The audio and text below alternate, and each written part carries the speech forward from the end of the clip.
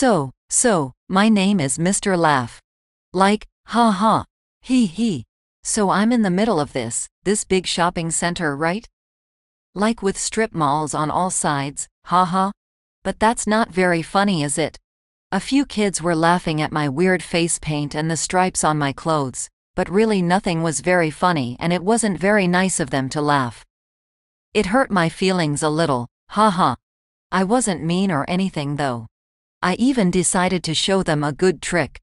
I said, Would you like a hand? to one of the kids, he he, and then I put my hand out to shake his. But then when he grabbed my hand, it came off, and I said, I said, There, now you've got a spare one. Ha ha, funny, right? Only the kid just screamed and ran away, which I thought, I thought was kind of mean, because it was a good trick, you know. A little bit painful when it comes off but good.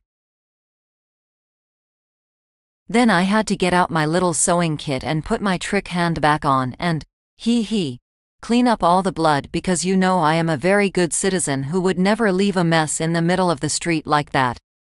Then, then I remembered I was supposed to be going somewhere, somewhere important. I had to go down, down to the fair to meet the others. Ha ha, silly me forgetting something like that. Silly, stupid, worthless clown. Ha ha. Ha ha. So I started down the street toward the fair when these men in weird coats came in a screaming car and asked if I was hurt. They were not funny at all and their screaming car made my ears hurt. So, so when one of them came close I decided to shake his hand with a buzzer, ha ha.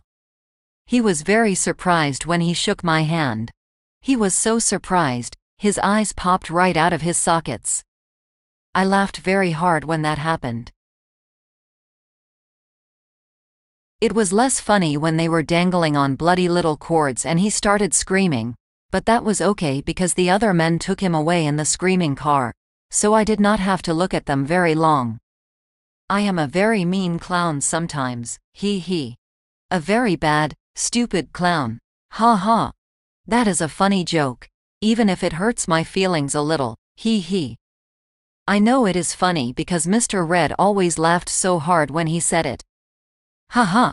Mr. Red was not very funny, but he sure laughed a lot. Maybe he should have been Mr. Laugh. Ha ha. Would that ever be a funny joke? If I ever met Mr. Red again, I would have to tell him what a funny joke I had thought of. Maybe he would laugh. Sometimes he stopped hurting me for a little, when he laughed. I picked up my big floppy shoes and walked on down to the fair. This content is Creative Commons. Relevant attribution can be found in the description.